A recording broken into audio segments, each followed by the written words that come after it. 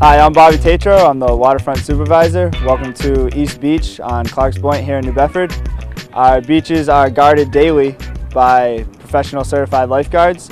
Uh, they're here to ensure the safety of the visitors that come here and also the general cleanliness of the beach. The beach is great for visitors to enjoy the sun, sunbathing, swimming, and uh, relaxing on the beach. And we hope that you would uh, come down and enjoy this beautiful resource the city has. Welcome to West Beach on beautiful Clarks Cove. West Beach is a fully accessible beach with ADA compliant beach ramp that will take you right down to the water. We also have this terrific amphibious wheelchair that is available upon request from any of the lifeguards. The amphibious wheelchair allows you to go right into the water and enjoy Clarks Cove. West Beach also has a pavilion where you can sit in the shade and enjoy the sunsets and the views.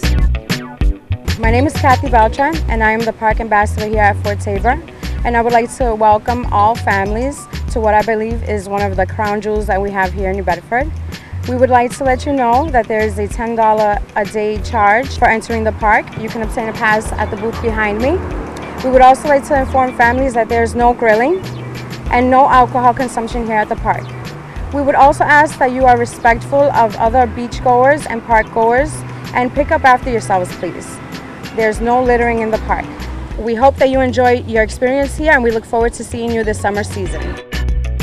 There's plenty of parking here at East Beach, so come on down, park your car in the lot, and then make your way over to this kiosk so that you can pay for your parking at the beach. The kiosk is $2 per hour, $10 for the day.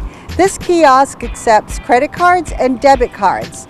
You also can get a seasonal pass for parking at the beaches. The season pass is available for $10 for city residents and that gives you a season's worth of parking at all three of our beaches. Those passes are available Monday through Friday at the Parks, Recreation and Beaches office, also at City Hall in the City Clerk's office, and at the Elm Street Garage as well. You can also get a beach parking pass at the Andrea McCoy Recreation Center Monday through Friday, noontime to 7 p.m., and Saturdays from 9 to 4 p.m. I hope we will see you down here at Clarks Point so that you can enjoy all the terrific amenities that we've just shown you. In addition to this, there's the Harbor Walk, the Cove Walk.